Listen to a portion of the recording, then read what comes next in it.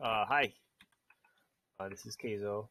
Uh, I am the one making Grug Notes, uh, and I'm gonna try and do a little demo video. Let's see how far I can get. Okay, so you log in or sign up, and this is what you'll see. Um, this is not my actual graph, so not much in here. Uh, this is some info. You can, of course, I'll read it and delete it. Um, anyway, so this is your your home screen, and usually there's a daily note, so we can kind of type in here. And let me just get to the cool part. So let's just make a note. Uh, I'm gonna make something up. Um, let's Barack Obama wants to buy.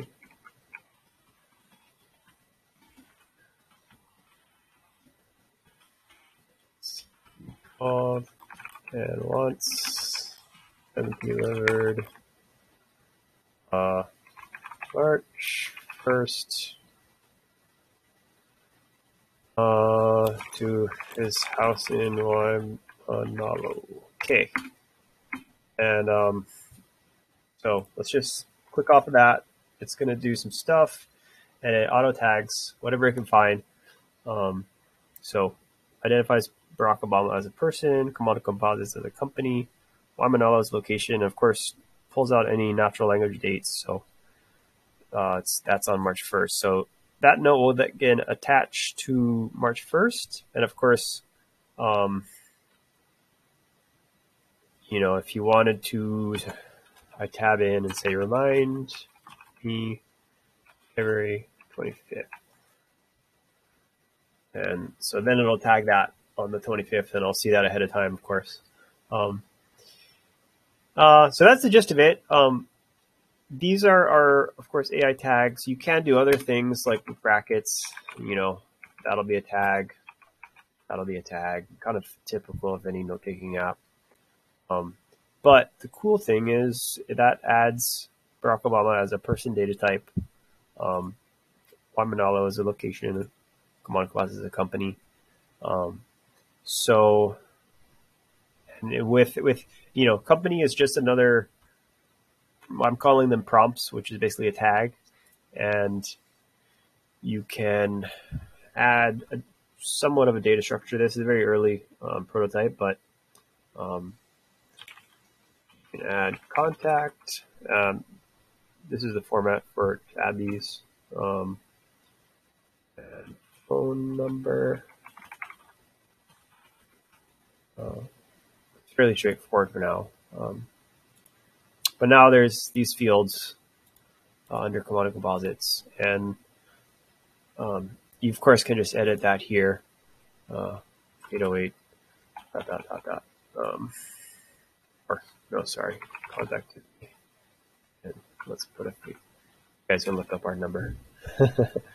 uh, and this just, of course, throws it in a table on that company page. So it, you basically, it'll sort of naturally build out a CRA, you know, a list of all your people. So that can be your customer relationship um, management tool.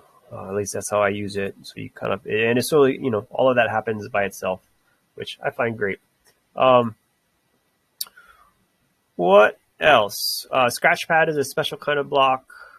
So it stays uh, the same over time. So I put my like weekly goals or monthly plan or anything that I want to keep kind of top of mind.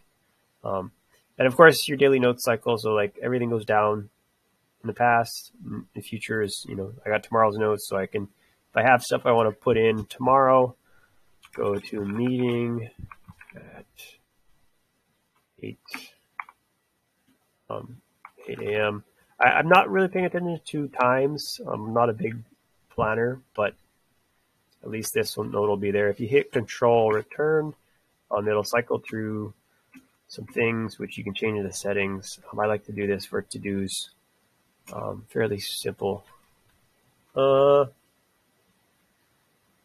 what else? Um, it's, it's, I'm all about, you know, very basic things. So, um, we'll see how long this can scale, but right now all of my notes are loaded on this one page, um, which, you know, right now that's less than a megabyte, but we'll see how long it goes. Uh, okay, when you click on a person's thing, um, it also sh- shows little similar tags. So without really any data in this uh, this account, it it doesn't show too much relevant. Um, but as you add more people or more things, it gets more and more relevant. And of course, it does take in um, that extra data you put in into account. So um, it'll kind of all automatically pull out, you know, relationships. Um, let me just let's add myself. Uh, and my cat. Let's see if it'll identify those. Um, slow, slow, slow. Okay, so uh, yeah, there's so little in this this database. Um, I kind of suspect it.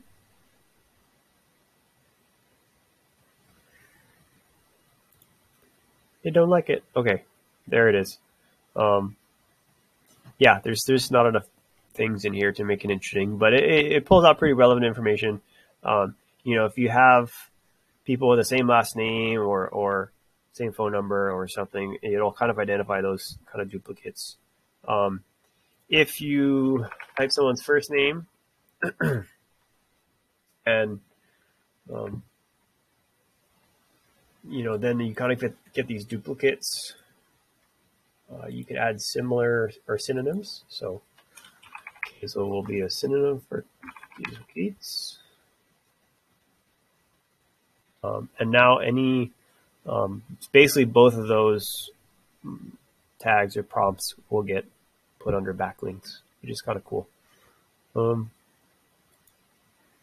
anyways, mm, that's really it. Okay. Let me know if you have any questions.